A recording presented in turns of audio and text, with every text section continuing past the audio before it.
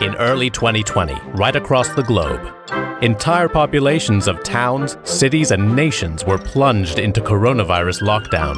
From country to country, it brought out the best in humanity. Heroes were produced on a daily basis. This is the story of the small northern English town of Barmy Dale, where some have been heroic and others, well,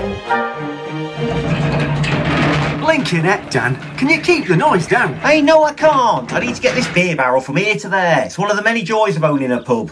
Well, I'd like a few less joys of living across the road from a pub. You've woken me and Gracie up. Two metres, Keith, come on. I am two blooming meters. And don't change the subject. I'm sick of putting up with it. Ten years, Gracie and I have had this. You moved in 11 years, 5 months and 13 days ago. Well, it's about time you started showing more consideration then. This is a time of national emergency, this is. Oh, no doubt I'll see you again later, banging your little saucepan for the NHS. There's nothing wrong with my little saucepan. You and your pretentious wok on the other hand. Hey, that wok's a beauty. It has a beautiful Asian ring to it. You trust me. Those nurses in number 55 know who supports them the most. Time to get up, Gracie, love. What time is it? Thursday. Come on, get up. We've only got 12 hours before NHS clapping time. And don't want to be outdone again by that idiot Dan from the pub and his stupid walk. Oh, how long have you both had this silly thing going on between you? It's a forces thing. I was British Army, he was Royal Navy. But weren't you on the same side? Same side. Don't be daft. Now get up.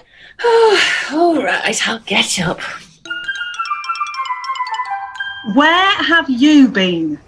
What are you doing with that beer barrel? What do you mean? Oh, I'm not stupid, Dan. Oh, that'll do nicely. Why are you banging it? I'm not banging it. I'm testing it to see if it needs to go back to the brewery. Oh, you must think I was born yesterday. This is to do with your stupid rivalry with that Keith from across the road, isn't it? Now then, I was cheated. You know that. Oh, you've shown me that CCTV footage God knows how many times, and I still can't see him moving the black ball. Well, he did. And I'll never forget it. Right. Here's what I want you to do. Next to you, you will see a pen and paper. Yes, I see it. You will notice that on the paper there is a list. Pan one, pan two, pan three. Yes, yes, etc., etc., up to pan 15. Now then, in a moment, I'm going to bang each pan and I want you to score them out of five in each of those three categories depth of sound, sustained ringing, and how much the pan will annoy Dan. Got it?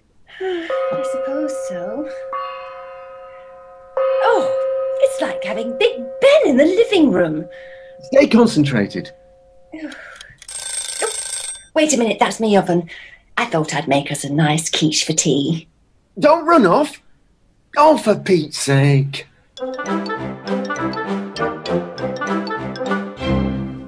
That was a good spot of tea, even if I do say so myself.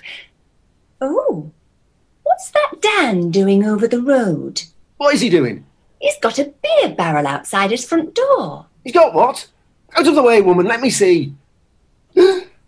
what time is it? Ten to eight. Where are you going? Gracie, come here. I'm in the loft. What's going on up there? I'm looking for that giant paella pan we got in Spain that time. What do you want that for? It's for the NHS. What do they need with a paella pan?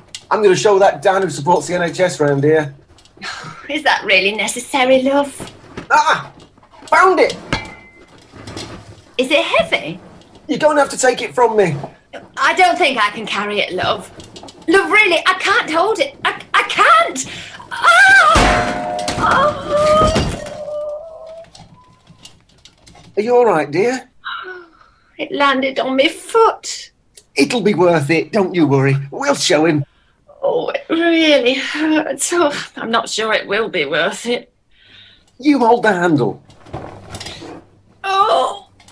Oh. Oh. Oh. Quickly, woman. We're to be late. It up so the nurses in number 55 can see it. Look at Dan's face. See the jealousy in his eyes. Sure, I can tell. Damn it. I forgot to bring someone to hit it with. Hold on to it, love. I'll be right back. Back in a minute. I can't hold it! I can't hold it! Oh. I can't believe you did it without me. Nice one, Keith. NHS will love you for that. Shall I call an ambulance?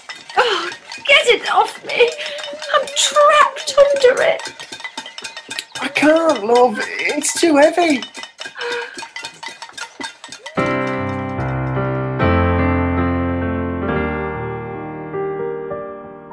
Hmm. Your eyes are still a bit glazed over, Gracie. I'll call 111. Hello? I'm calling about the wife. She is with me, yes.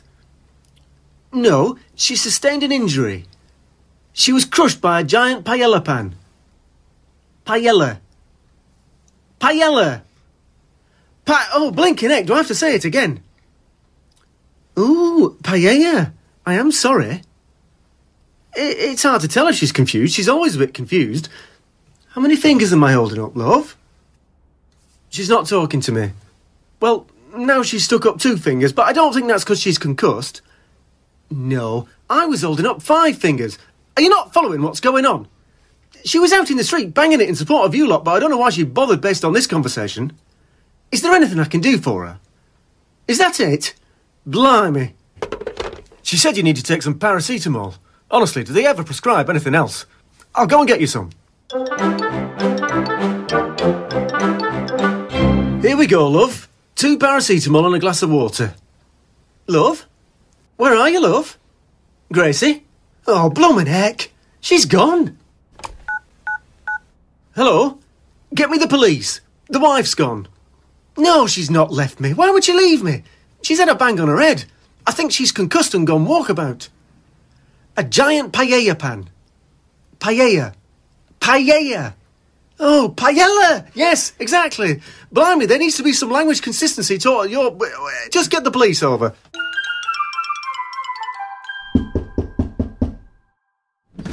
Oh, it's you, Keith. Oh, very warm welcome. Thank you. What do you want? Just wondering if you've seen our Gracie. No, not since she was underneath a paella pan. I think she's concussed. I found the front door wide open and she's gone. Well, sounds like she's finally come to her senses, if you ask me. Oh, that's nice. What's going on here then? Gracie's gone missing. Finally come to her senses, has she? Oh, that's original, Dan. she could be anywhere but now. I might never see her again, and all you two can do is make jokes. Sorry, Keith. How long has she been gone? About two minutes. Ah, well, we'll help you look, won't we, Dan? Uh, I've already been out for my once daily permitted walk. I'm not sure I'm allowed. No, I'm sorry, Keith. Dan? Oh, blooming heck. All right then. I'll stay here in case she comes back. Where do you think she'll be? If I knew where she'd be, I'd have gone there, wouldn't I? Do you not have an instinct? An instinct? Well, I've got a gut feeling about where she might go. Oh, you're getting very esoteric all of a sudden. No, I don't have a gut feeling. She's had a bang on the head and gone mental. She could be anywhere. All right, let's go to the top of the street and see if we can see her on the main road. Here we are. Oh, she's nowhere to be seen. Blummin' heck. No, no, no. She's over there at the bus stop. Look. The number 22 is coming. Come on, quick, before she catches it. Love? Gracie! Don't get on the bus! Oh no, she's waving it down. She's getting on it. She's flashed him a freedom pass and she's sitting down. Driver, wait up. Hang on, driver. We've got to take off one of your passengers. My wife's concussed. She doesn't want to go to Leicester. She doesn't know what she's doing. Hello, love. Where are you going? To see Gary Lineker? Gary Lineker? Oh dear, it's worse than I thought. Come on, up you get. Walk this way. What do you want to see Gary Lineker for? He's got to be stopped. Aye, well, I see your point, love. But let's just concentrate on putting one foot in front of the other. He's not obeying the social distancing rules. He's in our living room every chance he gets. Oh, he's a menace. Bloomin' heck. All right, love. There's a step here. Put your foot down on the road. That's it. Well done. No, no, where are you going, love? Home is this way. We'll have to carry her. I'll take her ankles and you hold her head. I'll take her ankles. She'll never forgive me if she flashes you a Marks and Spencer's finest. Ah, blimey. There's a bit of weight in her. Eh? Oh, this is going to be a long walk. It's the police. They must be responding to my call. They can take her back. Officer! Officer! Oi, you there! Put down the old woman. Old woman? This is my wife, this is. Are you all members of the same household? You what? Are you all members of the same household? No, officer. He's my neighbour. He's helping me get her home. He needs to put her down and get two meters. Don't drop her. Oops. Oh, sorry, Gracie. How did I get here? I think that's done the trick. What's going on? You're in the street, love. We're going home. Oh, the last thing I remember was a paella pan coming towards me. Paella pan, love. That's how it's pronounced. Really? Well, I never knew that. Oh, you learn something new every day, don't you? Ah, love. You do.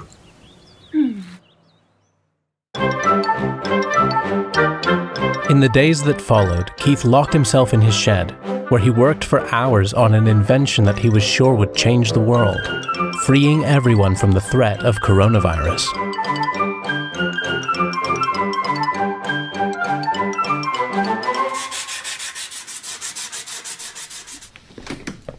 Here it is. What do you think? It's a stick. It's not any old stick.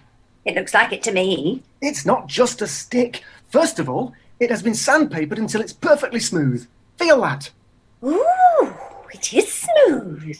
Secondly, it's been varnished with top of the range wood protector. Oh, it's all over my hands now, isn't it? Ugh, And thirdly, it is precisely straight and two metres long. it's still a stick, Keith. No, this is a social distancing enforcement device. You hold it facing outwards from your navel, like so, and no one can encroach on your two metres personal space.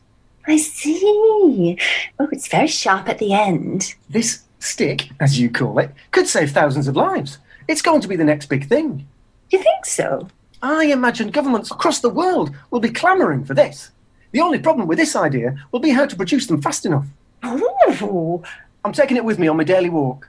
Are you sure you want to take it with you? What if someone steals the idea? Don't be daft.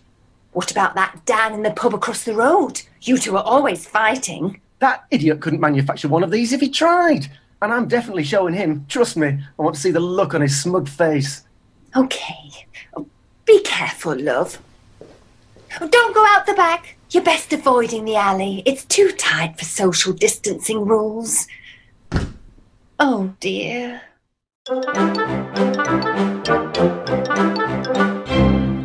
Oh, hello, Dan. What are you doing in the alley? Excuse me, Keith. Come on, I need to get past. Uh, uh, uh, stay the required distance, please. Oh, come on, Keith. Step aside, then I can get about my business. I wish I could, Dan, but rules are rules. What are you doing with that stick? I might have known your eye would be immediately drawn to this. This, Dan, is a social distancing enforcement device. An SDED for short. What? SDED. Carefully crafted to be exactly two metres long. You're not serious. Deadly. Yes, deadly. Don't be daft. Anyone who encroaches within two metres of me will receive a sharp upwards jab to the ribs. Oh, look, Keith. Sharon sent me out for toilet paper. If I don't come back with some, there'll be hell to pay. I sympathise, Dan. I do. It's not easy keeping the missus sweet, especially yours. But is it a reason to put my life in danger? No, you'll have to reverse to the end of the alley and we can pass each other there. This, this is ridiculous. Excuse me, gentlemen. Uh, would you mind standing to the side of the alley so I can pass? There's no chance, sunshine. Turn around and go back up to the street. I say, don't sunshine me. I have every right to pass through here. Oh, so Her Majesty's government guidelines don't apply to you? Now, listen here. All I want to do is get on with my legally permitted daily walk. It's only legally permitted if you are obeying the social distancing rules. Ah, quite right, quite right. Go on, back you go. That's an absolute farce. Hey, stop prodding me with that stick. This is a social distancing enforcement device. It's exactly two metres. If you're getting prodded, it's because you're within my two metre zone. No, no, you keep following me. Now, look here. Excuse me, officer. Yes, sir. How can I help? I'd just like to pass these gentlemen, but they won't let me through. We were just explaining the social distancing rules, officer. Well, that's all well and good, but I think I'd better confiscate that stick. This is an SDED prototype, this is. I can't just hand this over. A what, Dead? SDED. A social distancing enforcement device. I enforce the social distancing rules, not your stick. Now hand it over. This is a lifesaver, this is. Take it and you could be killing me and putting the lives of millions of my potential customers at risk. It's just a stick. Carefully crafted to be precisely two metres long. Hold it sideways. I need to measure it. Yeah, look at that. One metre and 99 centimetres. One centimetre short. Which suggests to me it's nothing more than a stick and not what you claim, sir. Now step aside and let this gentleman pass. Oh, yeah, thank you, officer. Ah! He stabbed me! He did it to himself by not keeping two metres away. Is this true, sir? Did you encroach? You have been warned that failing to keep two metres apart is dangerous and could result in someone dying. I, I don't know whether you've noticed, but I'm actually losing quite a lot of blood. Everyone get two metres away from him. He might have it. I haven't got it. Well, I read on the internet that bleeding might be a symptom. Step back. Hey, look, it's that Stacy, nurse from number 55.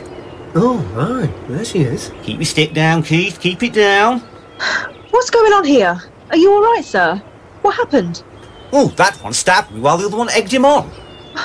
You two should be ashamed of yourselves. We were just protecting the NHS, making sure he adhered to the social distancing rules. Don't you think I have enough to do already?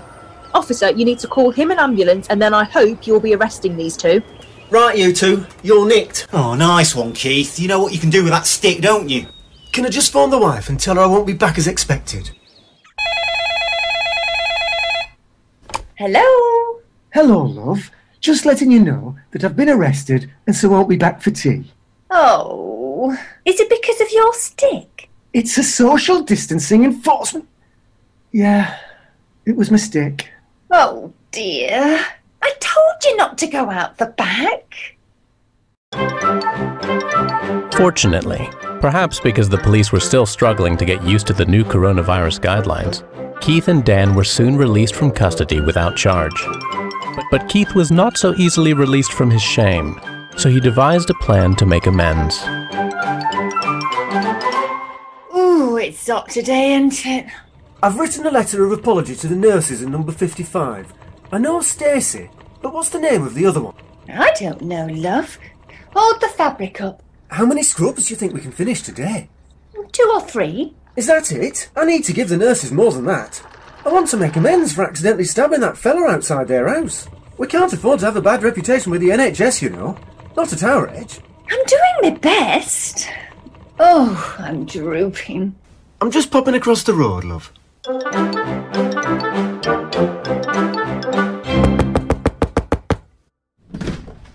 Keith, what do you want? Just happened to be wondering what the name of that other nurse is at number 55. What, Stacy? No, the other one. Tracy? Stacy and Tracy? Are they twins? No, they're not twins.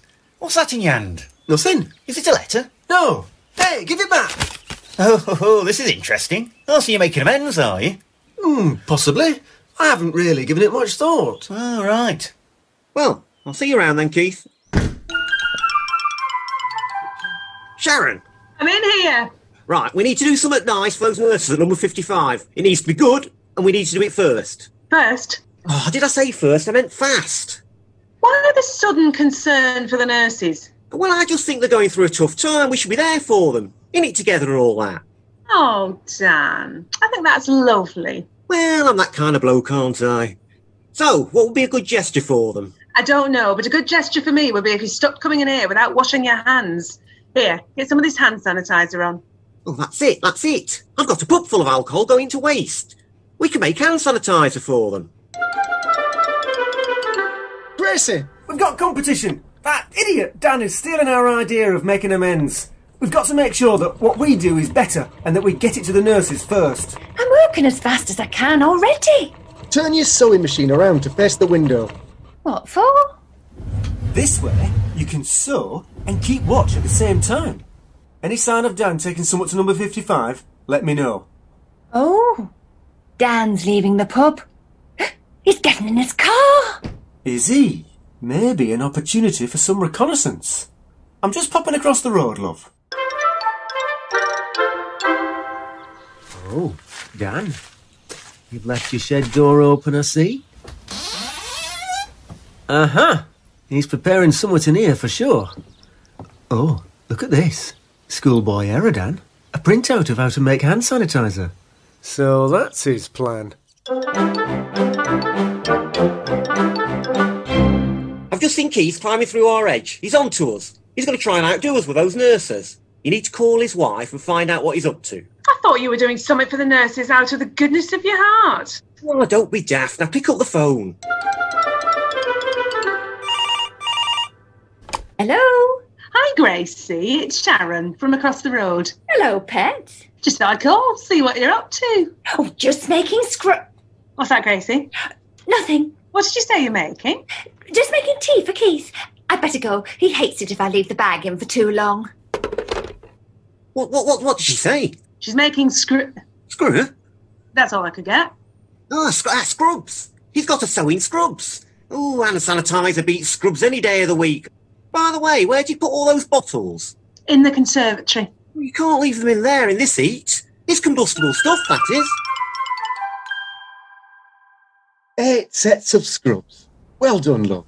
I'll put them in a box in the porch for now, then we can have a cuppa, and after that I'll take take 'em over to number 55. All right, love. Sharon, look at this. Keith has left a box in his porch. Bring the binoculars. Oh, you're like an old woman twitching her neck curtains. I can see inside it. It's a box of scrubs, all right. I hope he's back with masking tape to close it up. And now Gracie's bringing him a cup of tea. Now he's gone again. Well, you have to be quick if you want your hand sanitizer with the nurses first. can do better than that. We've got a box just like that one of Keith's, haven't we? Oh, Dan, you wouldn't switch boxes on him. Well, I would. And with a nice letter inside from us.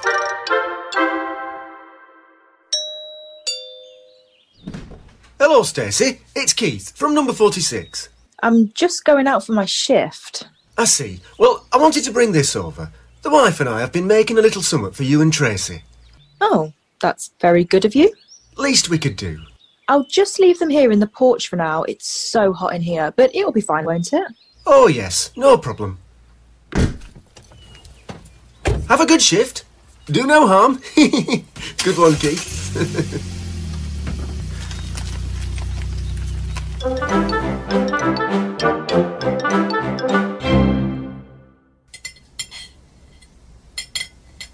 Well, Gracie, job well done.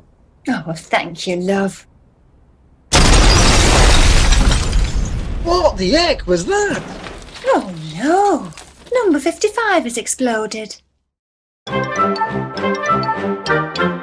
For the second time that week, Keith and Dan found themselves in police custody. To their surprise, it was also the second time that they were released without charge. This was luck neither of them knew they had. In his excitement, Dan immediately called his wife to tell her the good news. But it was a phone call he would soon regret, as rather than reacting with joy, it had started his wife thinking.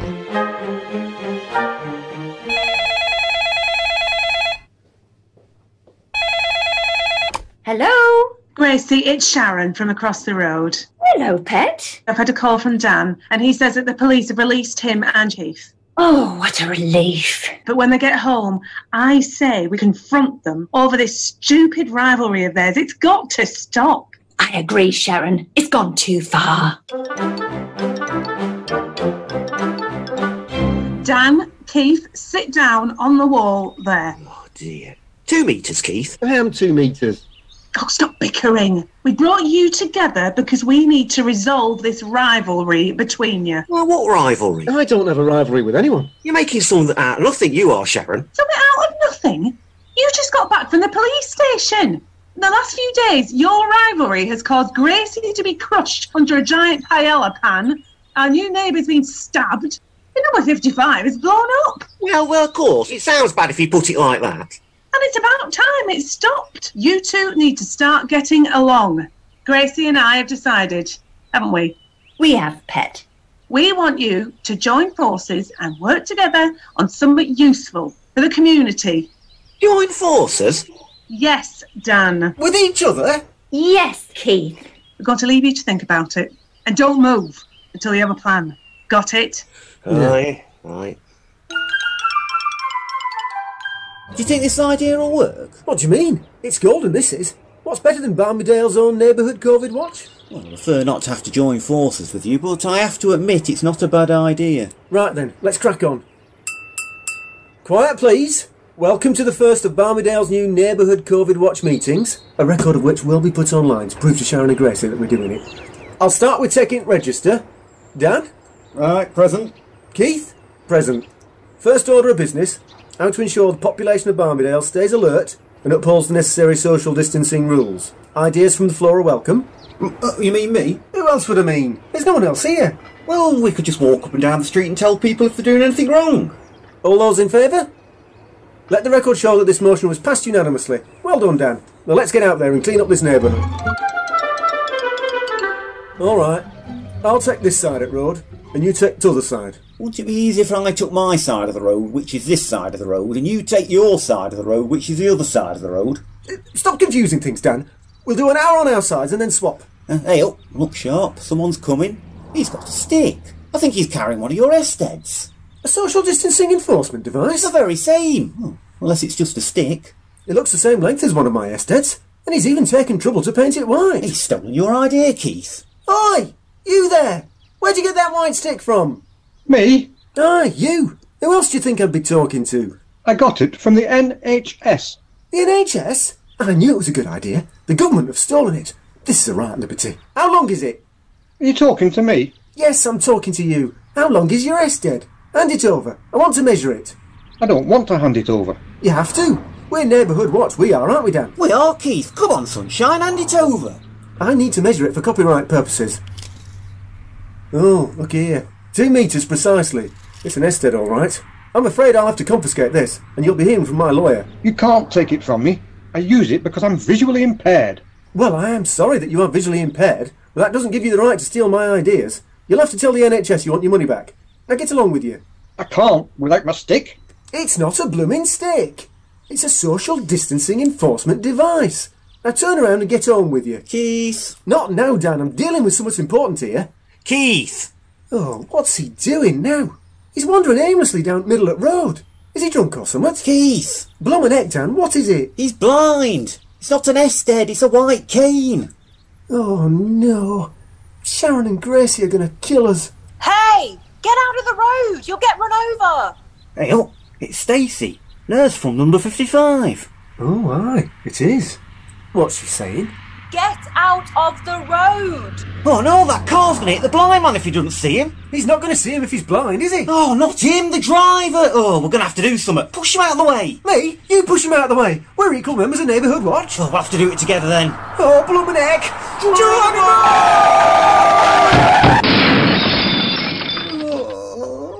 Don't move. I just want to assess your injuries. Oh, hello, Stacey. Oh, hello, Stacey. It's Keith from number 46. The man you saved is fine. He's sitting safely on the curb. Dan! Oh no. It's the. We're in for it now. Oh, Dan, are you okay? Oh, oh, oh. Speak to me, love. They saved a man's life. They're heroes. Oh, Dan, I am proud. Oh, it was just instinct. Oh, natural for a couple of X-Forces elites. My hero. Oh, just doing my bit for community, love. Barmy Dale starred Juliet Howland as Gracie, Camilla Simson as Sharon, Stuart Wheeldon as Dan, Martin Skellern as Keith, Mia Mills as Stacy, and John Skellern as the man with the stick. The music was composed by Jordan Frater, the audio editor was Matt Winch, and the show was written by Skellern and Wheeldon for Barmy Productions.